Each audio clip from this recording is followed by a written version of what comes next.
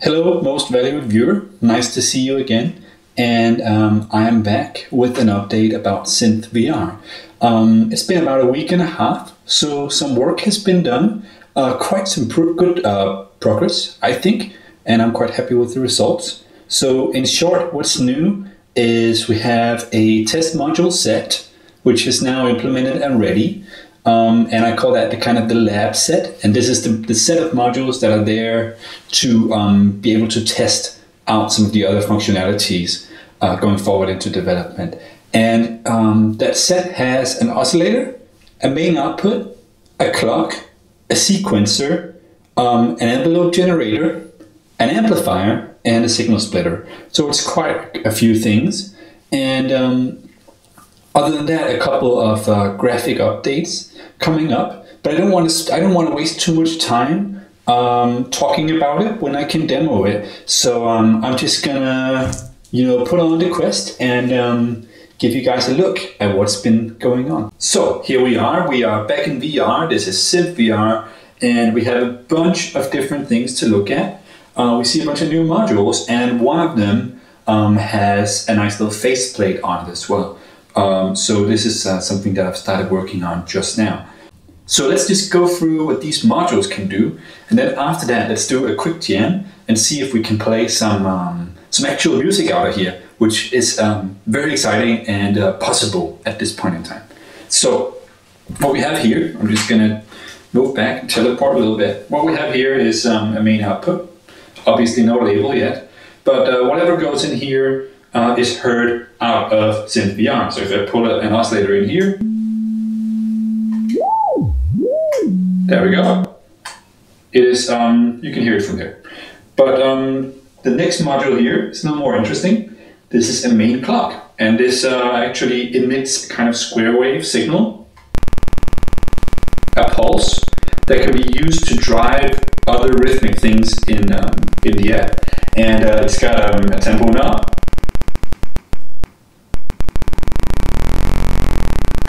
So there we go. Not super interesting, but in a, in a second you'll see what's cool about that.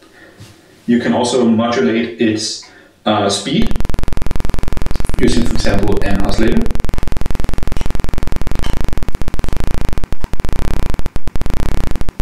So that's a way that you can modulate the tempo of the clock. All right. Next up here, this is a signal splitter. So I can take the clock, for example, I can put it in the splitter input, and out of the output, I get one copy of the signal, and out of the next one, I get another copy of the signal. So now I can, for example, put it into both of my outputs if I want to. So that's the way that you can split signals. So output, clock, signal splitter. Now up here we have some interesting things. This one you've seen before. This is the oscillator. Let me just show you again got a frequency dial, and we got a control voltage input. I'm not sure if that should be called control voltage really, but um, we'll figure that out.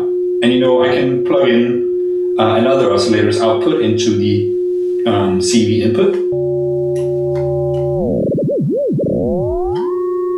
There we go. So they can influence each other. Great.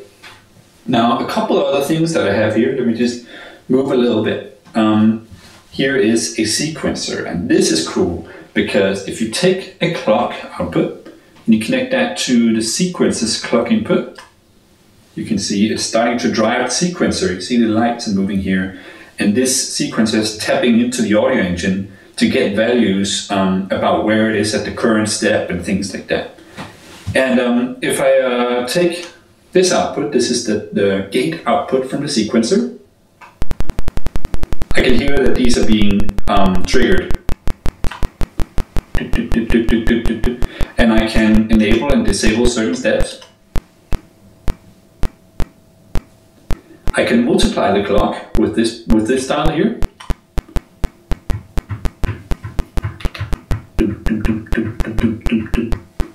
Make it slower.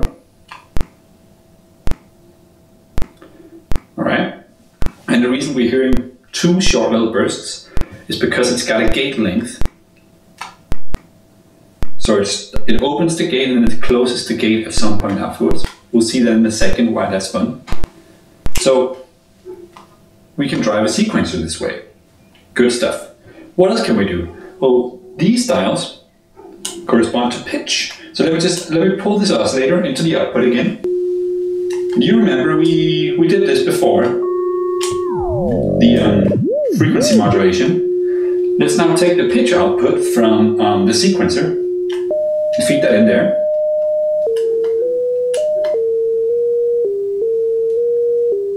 All right. So we have some sequencing going on. Obviously, this is not great because this is not in musical scale here, but it will be at some point. But for all intents and purposes, we are now like working with an actual sequencer, which is fun.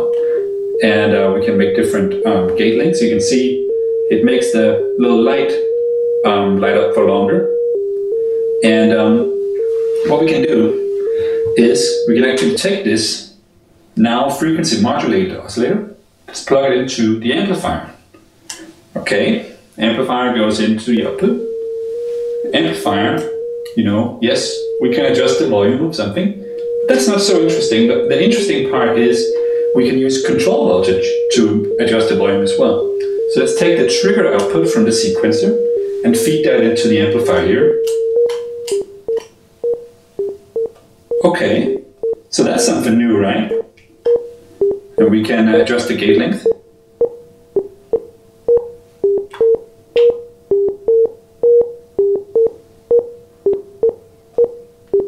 Alright, but um, that's just like an on-off kind of thing. So let's try and make it a little more interesting.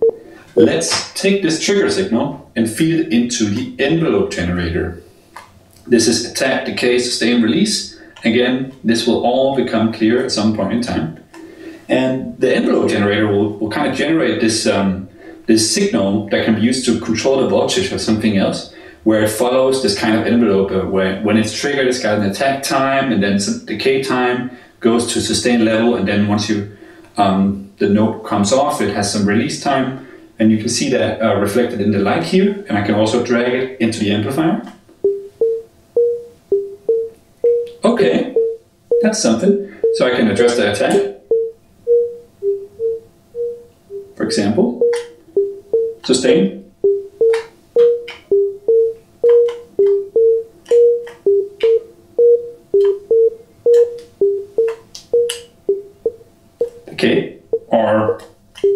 okay and some release.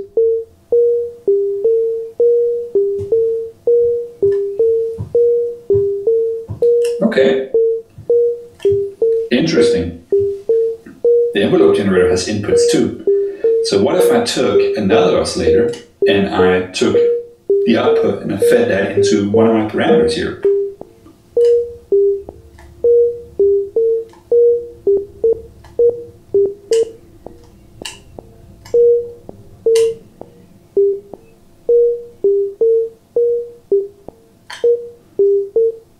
So now I'm starting to make some things happen, you know?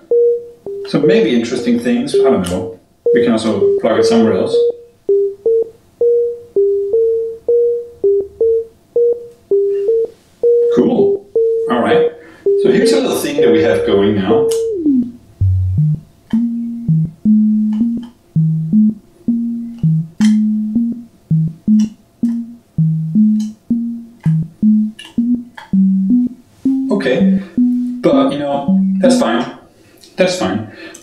To also use this clock here to drive this sequencer. How do I do that?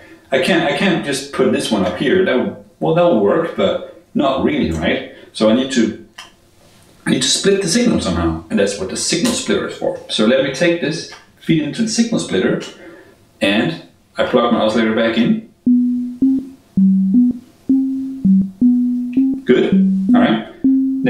Now and then I can split it and, and put it up here. Cool, so my second sequence is running. And maybe I can, um, you know, I can work on a little rhythm here. Let me, um, let me use the pitch output and send that into this oscillator here. Actually, let me send it into this oscillator. Take this output, send it to an amplifier, into my output here. Okay. Okay, so something's happening.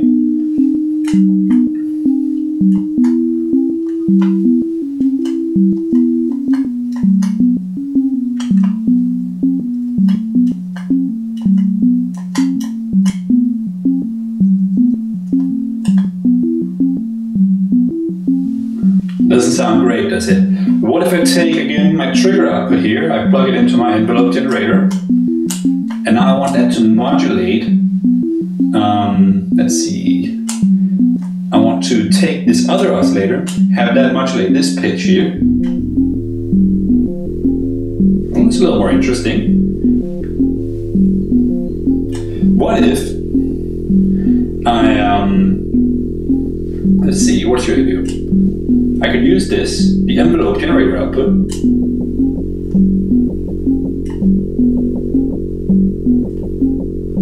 maybe I could split the envelope generator and then also use it in the amplifier output here.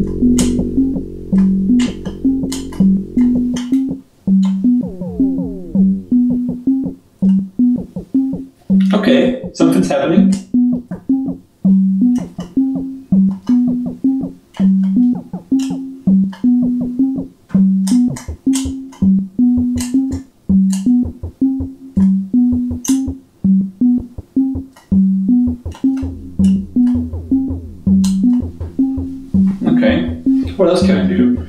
I can drag something from in here into this um, pitch. Or maybe I can use this to modify.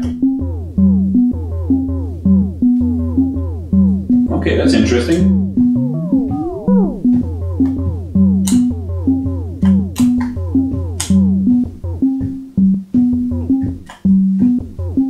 Oh, cool. Okay, adjust the gate length.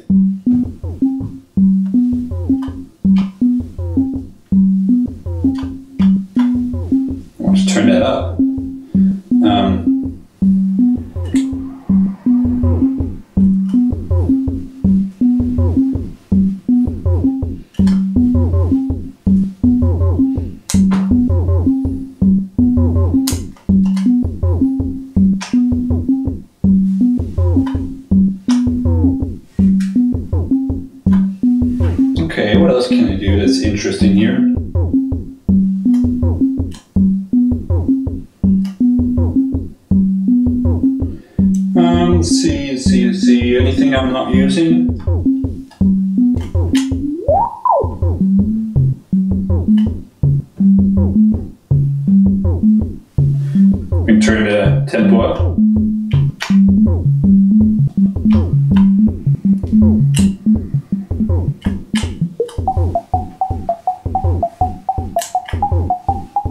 Down a little bit.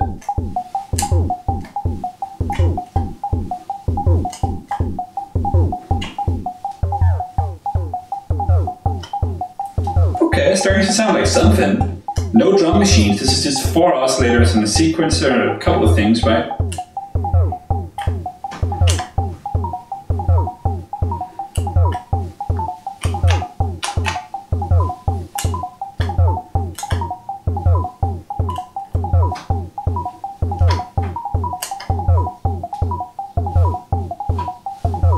Sounds, sounds a little bit like chaotic. It's kind of cool.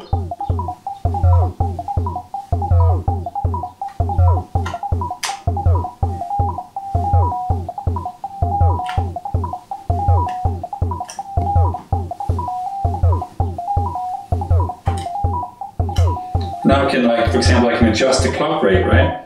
And that'll adjust the, the, the tempo of this whole thing that's going on right now.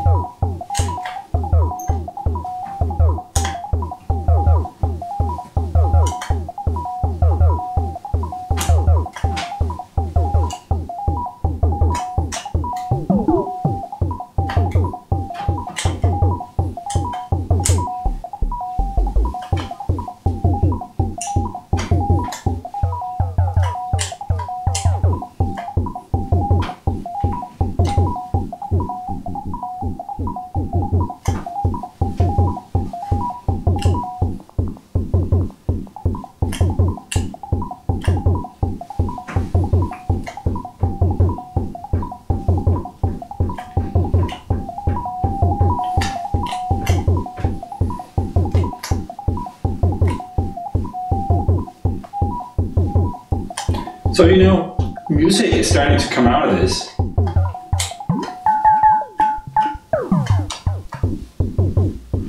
You know, whatever we want, really. Let me just try and switch it up a little bit. Oops. And there, I accidentally pulled one of the modules. You can see when you pull a module, it'll disconnect. But, you know, that's, that's like a quick demo of the different modules that we have and a bit of a jam session um, using the clock as an output here to, you know, trigger um, trigger a, a, a, sequencer or using a splitter to trigger several things at once. And, you know, it's all possible. So super interesting and super fun. Um, can't wait to kind of, kind of keep building on this. Yeah, so that's basically it. I now have VR face, and uh, that's because I had a lot of fun. So that's uh, always good. Um, so what we have now is like um, a working implementation of the lab module set, the test module set. And um, what's uh, next for SynthVR is faceplates. You saw it on the oscillator. We're trying to work out how to um, do dynamic faceplates for all the different modules and do them in such a way that at some point um, this becomes extensible, so extendable, so that you can um, make your own faceplates and apply them um, in runtime to these uh, different modules.